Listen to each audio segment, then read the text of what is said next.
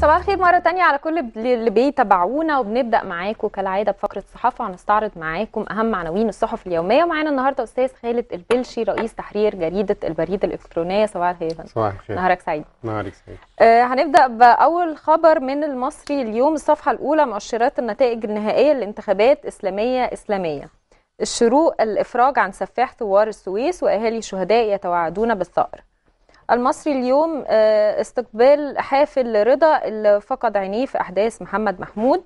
المصري اليوم كمان أبو سعدة يطالب الصحفيين بالتحقيق مع محرر وثائق ويكيليكس. الشروق الصفحة الثالثة أبو الفتوح أرفض الخروج الآمن للمجلس العسكري. الشروق حمزة آه، منعي من السفر هدفه التغطية على الجاني الحقيقي. والأهرام الصفحة الثالثة المركزي آه، ينفي وجود أرصدة لديه باسم مبارك.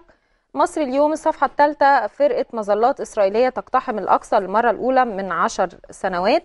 المصري اليوم الصفحة الأولى همجية المارينز فيديو يعرض جنود أمريكيين يتبولون على جثث أفغان. يعني قبل ما نبتدي نناقش ال- الأخبار الموجودة معانا النهاردة هنروح نشوف تقرير عن أهم خبر لفت نظر الشارع المصري في الفترة الأخيرة ونرجع نبتدي فقرة.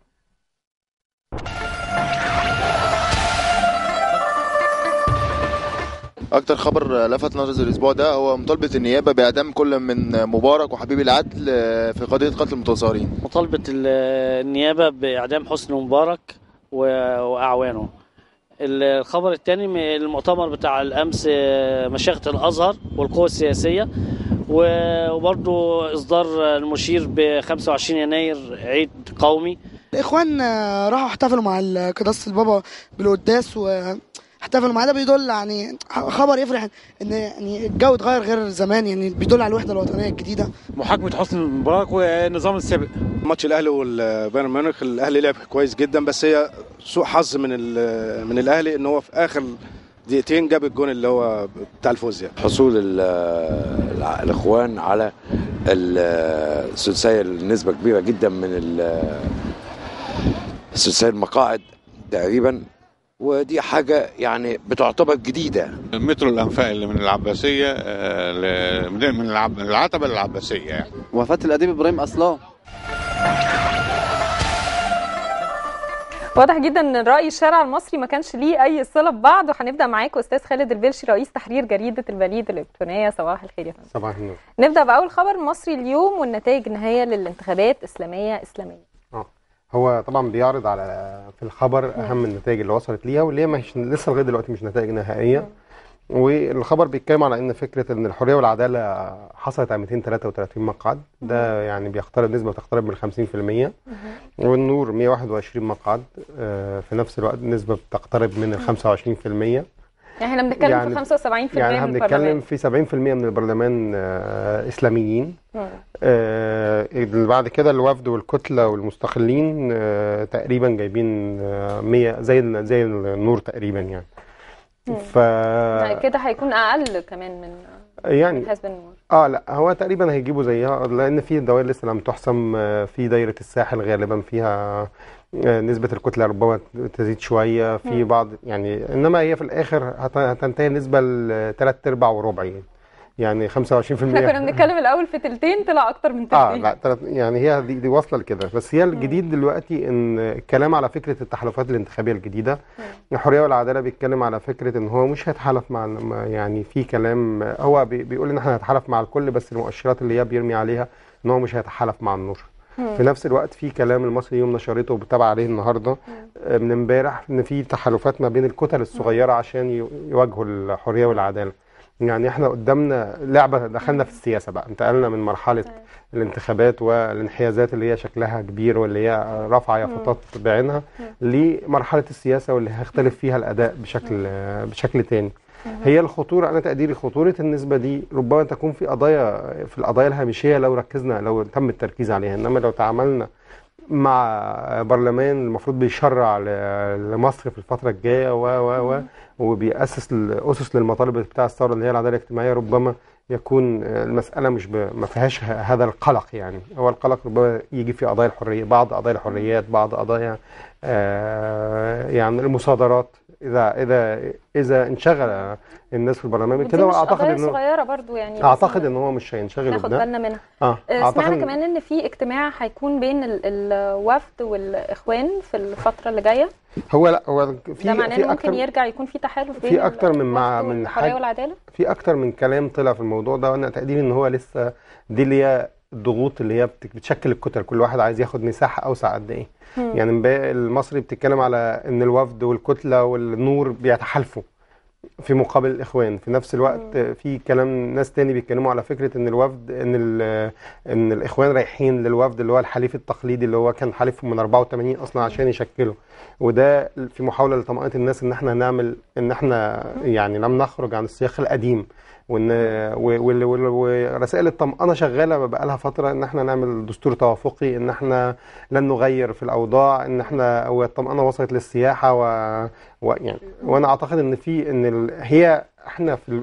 أجرينا البروفر الرئيسية ل- لانتخابات مصر المرة دي آه، أعتقد إن إحنا آه، أمامنا انتخابات قادمة هي دي اللي هتبقى معيار واضح و- وكاشف عن المصريين بشكل أساسي وكمان معيار على قدرة الناس التانية على العمل أنت هو عنده حجج دلوقتي أساسية إن إحنا لم نكن موجودين مم. أظن أمامك أربع سنين لتكون موجودا أو خمس سنين قادمة لتكون موجودا ربما أقل في ظل الطعون الشديده اللي موجوده على الانتخابات وفي حزب ظل اغلبيه موجود في آه. السلطة آه، فأن- فأنت هتأدي أمامك إزاي؟ كمان الناس التانية ت- تؤدي لنصنع حاجة مختلفة بعد كده مم. بس في الآخر بقى عندها مجلس شعبي شروق الصفحة الثالثه الافراج عن سفاح ثوار السويس وأهالي الشهداء يتوعدون بالثأر. آه دي الصدمة الثانية بعد حكم السيدة زينب. حكم مم. السيدة زينب اللي هو حكم غريب وسياسي وربما أنا تقديري إن حكم السيدة زينب هو حكم يعني بال... بأنه لا ثورة موجودة أصلا. الافراج عن ال- اللي هو براءة المتهمين بقتل الثوار لأن هو المسألة باختصار شديد ال- إحنا قلبنا الوضع. مم. والحقيقة من كان يدافع عن النفس هم الثوار. مش الشرطة في اليوم ده. من نزل للشوارع وتم إطلاق النار عليه في البداية هم الثوار. فاتجهوا للدفاع عن نفسهم الحقيقة اتقلب الوضع وده أنا تقديري خلاص. قدم الناس بقى المتظاهرين باعتبارهم مخربين. يعني ده ده النتيجة. امبارح آه الإفراج الإفراج أنا مش ال- ال- ال- براءة. أعتقد إن إفراج لا ده هو حبس احتياطي. هو طلعهم من الحبس الاحتياطي بس لسه القضية منظورة. بس هي الفكرة أنت تحبس الناس احتياطيا لكثير من الأسباب ربما من أحد الأسباب هو حماية حتى المتهم.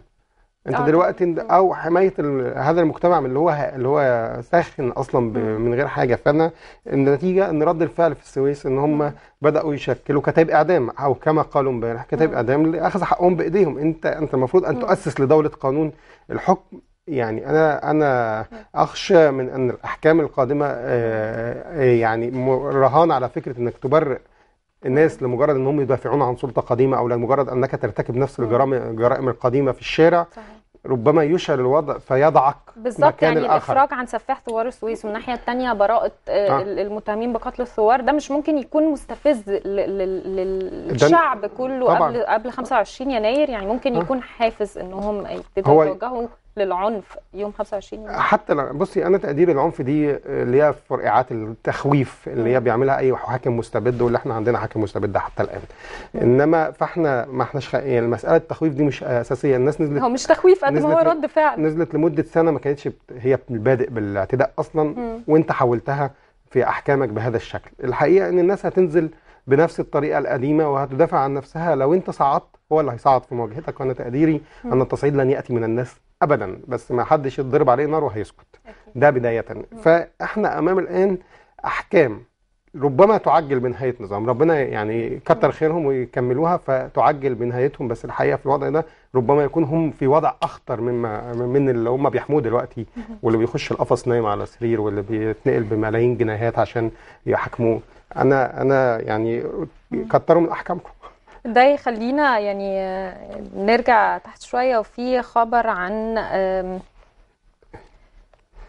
عن لو هنرجع لخ- للخبر الشروق. الصفحة الثالثة أبو الفتوح أرفض الخروج الآمن للمجلس العسكري. آه هو ده مرتبط بده. يعني آه اللي هي نقول الفكرة. آه، اللي هي طرح الإخوان اللي هو طرح في خلال الفترة ال- والأصوات اللي بدأت تعلى خروج آمن من المجلس العسكري. خروج آمن من المجلس العسكري معنى هناك اعتراف بأن المجلس العسكري ارتكب جرائم تستحق الخروج الآمن.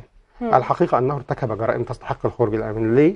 اللي حصل إن إحنا في ناس اتقتلت في الشوارع ومعروف إنها اتقتلت برصاص جيش. الحقيقة من ال- المتهم هنا مش اللي أطلق الرصاص من وجهة نظري المتهم من أصدر الأوامر لإطلاق الرصاص.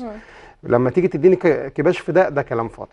فبدأت المسألة إيه، الإخوان ترى إن ربما ده يعطل انتقال السلطة لسلطة مدنية. أنا أعتقد إن إن الالتفاف على الأحكام هو تعطيل لانتقال السلطة لسلطة مدنية في كل الأحوال وأن من يملك العفو والصفح هم اللي اتقتلوا أو أسر اللي اتقتلوا. أنا تقديري أن هناك أن قواعد دولة مدنية حقيقية تحاسب من أجرم ومن أجرم في هذه اللحظة وهو من يحاكم أنا أنا كنت دايما بقول أن هناك قاتل أو متهم بالقتل يحاكم متهم بالقتل الآن.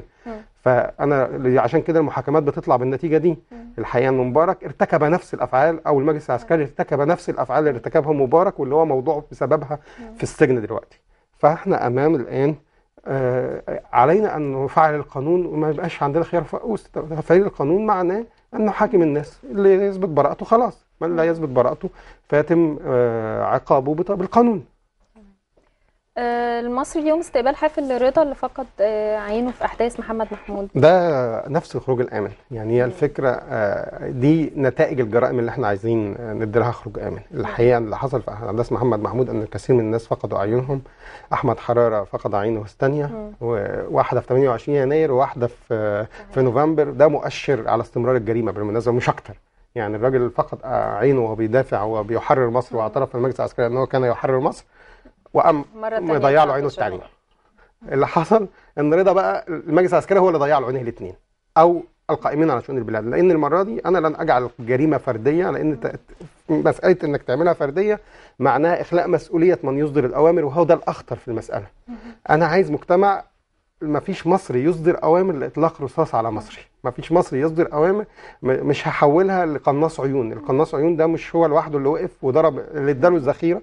واللي طلعه واللي ضرب عليه واللي خلاه يضرب على الناس النار واللي خلاه يسقط كل هذا العدد من المتهم من الضحايا وال- وبالمناسبة والشهداء هو مسؤول قبل منه لأنه ممكن كان ما يدروش الاوامر ممكن ما كانش ما يعمل كده. تحققش في الفعل آه، حاسب ال- فما تدينيش. كبش فدا. ما تدينيش كبش الحقيقة. المتهم هو العسوي الذي خرج بعد ذلك ليكذب ويقول أنه لم يطلق رصاص وأنا الضحايا قدامي على الأرض.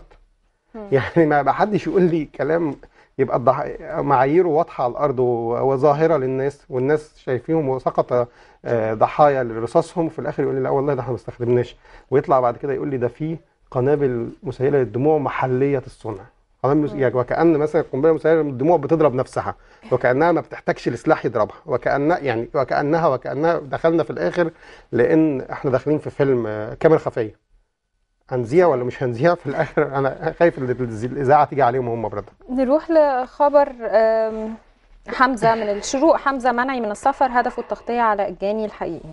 الممدوح حمزة تم استدعائه خلال اليومين اللي فاتوا وتم استدعاء نوارة نجم وتم استدعاء مظهر شاهين وتم استدعاء آه، طارق الخولي وتم استدعاء آه، وتم استدعاء كفاية لا، يعني عارفة لما نيجي نقول تم استدعاء تم استدعاء تم استدعاء هرجع ل 28 أو 25 كل من تم استدعائهم هم كل من كانوا يدعون ل 25 و 28 ده معناه أن من كانوا يدعون للخروج على نظام مبارك أو للثورة على نظام مبارك ولا اسقاطه واللي هم كانوا في الأساس ب... ب... أصحاب الدعوة واللي وتم الإشادة بهم بأنهم صنعوا ثورة لم تصنعها واللي كان في الوقت ده المجلس العسكري صامت وخانع وبيدافع عن مبارك وطرف فيه هم الآن من يتم. ده معناه انتقام. ده يعني معناه ممدوح أنك- حمزة ال- ال- القضية هي تحريض على على العنف. آه على حرب وتحريض على حرب المجمع على العلمي. المجمع العلوي العلمي وتحريض على العنف واستنادا لولد صغير جابوه فاعترف قال اعترافات غريبة وإحنا شفنا شكل الاعترافات بتاع الأولاد الصغيرة اللي خرجوا بعد كده كذبوا المجلس العسكري واللي اتعمل بعدها حملة كاذبون عشان لأن دي آه. كلام مش مظبوط ففي الآخر أنت تنتقم. المساله الرسالة هنا أنت تنتقم. الانتقام من ممن فعلوا 25 معناه أن سيداهمك 25 أخرى. وربما بقى الانتقام يكون عكسي. لا تؤسس فكرة تأسيس الانتقام هو تأسيس ضدك مش معك. إحنا نؤسس لدولة عدالة وقانون ومحاكمات عادلة. الأهرام البنك المركزي ينفي وجود أرصدة آه، لديه باسم مبارك.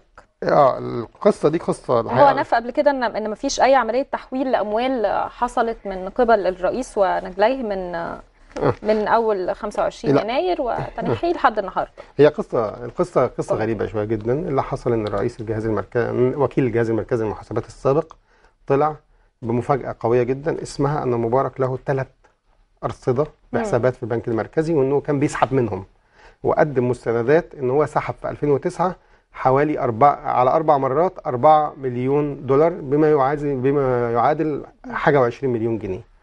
الفكرة إن الأر- الأرصدة دي تتجاوز 55 مليار جنيه آه، وقال إن الأرصدة دي موجودة وإن ال إن ال إن هم مجمدينها وما دخلوش الاحتياطي النقدي وفي الوقت اللي هم عمالين يصرخوا من الاقتصاد اللي بيحصل إن دي موجودة عندهم أرصدة وكشف مفاجاتين تانيين الحقيقة البنك المركزي ركز على السخن وساب الأهم. إن هم عندهم 4000 صندوق في مم. 98 مليار ما حدش مد إيده عليهم. المفاجأة الثانية مرتبات واللي هو ده اللي بتحصل في البنك المركزي واللي ده نموذج فيها أحد السعاة اللي بيحصل على 10000 جنيه في الشهر. فيعني هي قضية تتعلق بفكرة الرعب الاقتصادي الرعب الاقتصادي اللي بيحاولوا إرعابنا بيه وفي نفس الوقت حماية المجرمين أو المتهمين أو سارقي آه، وده معناه أنك تحمي من خرجنا ضده. البنك المركزي امبارح خرج وقال لا لا لا لا, الأرصدة مش باسم مبارك بس هو قال إن في أرصدة. يعني في أرصدة آه، بس في مش أرصدة. باسم آه، الرئيس. الحقيقة- هو بينفي الخبر اللي هو أكده كده. آه آه لا، وقال إن في الأرصدة بس الأرصدة ما قال- ما ردش على فكرة إن مبارك هو الوحيد اللي كان مخول بالسحب منها وإنه سحب منها في 2009 أربع مرات. بما يعني أنه موجود أرصدة ممكن ما تكونش تحت مبارك بس هو اللي بيتحكم فيها. وده كارثة. والكارثة بقى الثانية إن هو قال إن هذه الأرصدة اتعملت بعد حرب الخليج بما يعني اللي هي مكافآت. دفعت للنظام مقابل بيع الجنود المصريين في حرب الخليج. وهذه الأرصدة مع بمليارات ولم تت و- وظلت تحت وفكرة أن تظل الأرصدة تحت في حوزة واحد بينفق منها ويصرف منها معناها أنك تطرح مساحة للفساد. لو نبي عنده مليارات بيتحكم فيها دون رقابة فمعنى انها طبعا البنك المركزي كمل وقال إحنا دخلناها في الاحتياطي النقدي اللي ضاع الراجل امبارح اللي هو قدم البلاغ طلع وقال إن ده كذب وإن ده استسهال. أنا تقديري إن المسألة لا ترد عليها ببيانات الآن. نحن أمام بلاغ لجهات قانونية. من يحسم هذا البلاغ هو التحقيق القضائي اللي هو الشفاف واللي هو أعتقد أنه لن يحدث في وجود المجلس يعني العسكري البلاغات دي مش بتؤدي لأي شيء. يعني آه، آه، البلاغات ما هو بالظبط لأن إحنا أمام سلطة تحمي نفس النائب العام القديم الذي عينه مبارك وأمام يعني أمام إحنا دلوقتي داخلين على مجلس شعب جديد وداخلين على المفروض سلطة محاولة لنقل سلطة جديدة. نحن أمام بلاغات بتكشف مساحة واسعة جدا من الفساد وبتكشف بالمناسبة الأخطر المؤشرات الأخطر هي ما لم يتم الرد عليها. أن هناك صناديق خاصة لم يتم التعامل معها أن هناك رواتب خيالية تصل بالسعر 10000 جنيه. في الوقت اللي إحنا بنتكلم بحد ادنى وبنمنع 200 جنيه زيادة لمعلم ولا عامل الاخطر من ده وده أن هناك حسابات يتم التعامل فيها دون رقابة. على طريقة ميزانية الجيش اللي يتم التعامل فيها دون رقابة. فدي دي دي الأسس اللي ممكن تهدم أي شيء. فده كل ال- أخبار النهارده معظمها كانت أخبار مؤلمة جدا وربنا يستر على رد فعلها في الشارع المصري. أستاذ خالد البلشي رئيس تحرير جريدة البريد الإلكترونية بشكر حضرتك جدا معايا. شكرا. ميرسي لحضرتك مشاهدينا خليكم معانا لسه معانا فقرات كتير بس بعد الفاصل.